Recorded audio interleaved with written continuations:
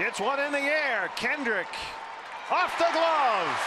Tuffy will score. They'll stop Segura at third, and it's 6 0 Diamondbacks.